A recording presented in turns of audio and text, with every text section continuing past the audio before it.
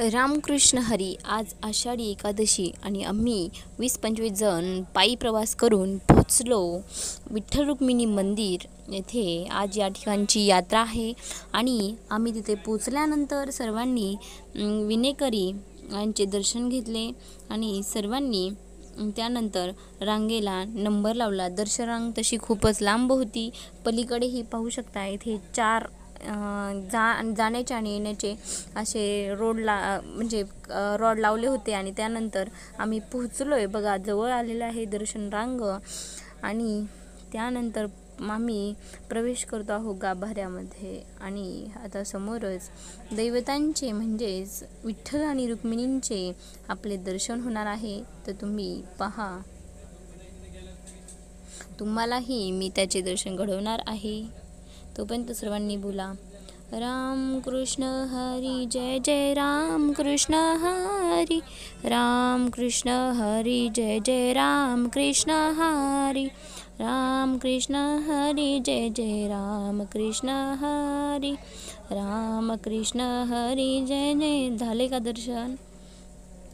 त्याच्यानंतर बघा प्रवास करताना आम्हाला हा आनंद बघायला मिळाला या मंडळाच्या बायका होत्या आणि त्या अभंग म्हणत होत्या. अभंग म्हणता म्हणता रस्ता कधी संपला कळलेच नाही. खूप गर्दी आहे पहा तुम्ही.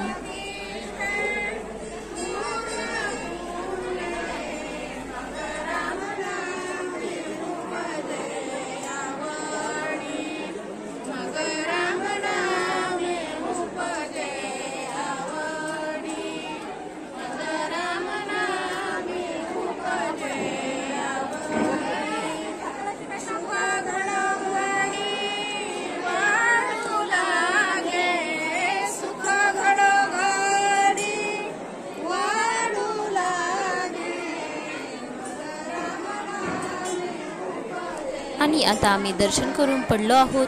मंदिराच्या बाहेरच्या साईडला निघालेलो आहोत. त्यानंतर आम्ही पोचणार आहोत आता अशा ठिकाणी जेथे जेथे फ्रीमध्ये दूध आणि चहाचे आयोजन केले आहे इथल्या लोकांनी. आणि हे मसाला दूध आहे. आम्हीही त्याचा स्वाद का सोडायचा? म्हणून आम्ही सर्वजण दूध पिण्यासाठी थांबलेलो आहोत. माझ्या हातात कॅमेरा आहे त्यामुळे मी काही दिसले नाही. आणि तेथून आम्ही चहा दूध पिऊन काही काहींनी दोन दोन दुधाचे ग्लास पिले आणि आम्ही तिथून निघालो. हे भा मंदिर. आणि त्यानंतर आम्ही सर्वजण निघालेलो आहोत आमच्या परतीच्या दिशेला. आणि हा तुम्हाला सांगायचंच राहिलं. आम्ही दर्शन दर्शन झाल्यानंतर हा बघा हर्षू त्याच्यामध्ये अजून तो दूध पिलेलाच नाही आहे तो पिऊन दुसरा घेतलेला आहे भूक लागली असे सांगतो आहे कारण आम्ही खूप लांब प्रवास केलेला आहे. सर्वजण तुम्हाला हाय करताय तुम्ही देखील हाय करा. तुम्हाला सांगायचंच राहिलं आम्ही विठ्ठलाच्या रुक मंदिरात जाण्याआधी आम्ही गेलो होतो श्री विश्व काशी विश्वनाथ मंदिर आणि त्यामध्ये आम्ही घेतलेलं आहे दर्शन. बघा तुम्हालाही त्या मंदिराचे दर्शन होणार आहेत या व्हिडिओमध्ये.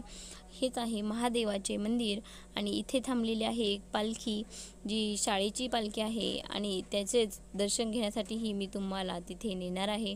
तरी हा व्हिडिओ शेवटपर्यंत पहा आणि बघा हा काही दूध पितच नाही आहे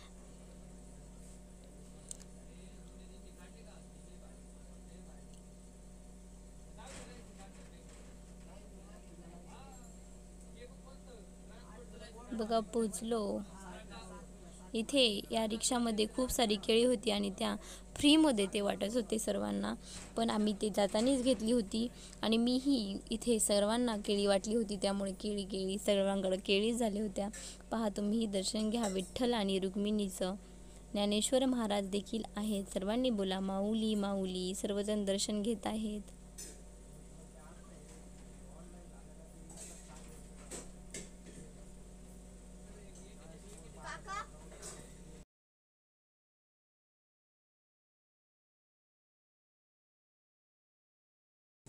त्यानंतर दर्शन घेऊन सर्वजण थकले होते ते बसले होते आणि त्यानंतर मी उठून चालायला लागले. बाकीही चालतायत आणि त्यानंतर एक इथं खूप मोठी विहीर आहे. आय थिंक विहीर आहे का माहीत नाही पण खाली एक दरवाजा दिसतो आहे. तिथे बघा ह्या दोघी माईले की डोकवता येतील ही भीती वाटते. त्यानंतर आम्ही निघालो परतीच्या प्रवासाला आणि आम्ही तिथून जाणार आहोत मेहर बाबा आम्ही तेथून पुढे चालू केली आहे. मस्ती. इथे आहे सुर पारंब्या खेळायला. पारंब्या. देखो मैं कैसी झूला झूल रही हूँ. और फिर हम खेले फुगड़ी. देखो, आप मज़ा ले सकते हैं कैसे हम खेल खेलते हैं। और खेलने के बाद हम चले वापस घर। और हम सब दौड़े दौड़े आए।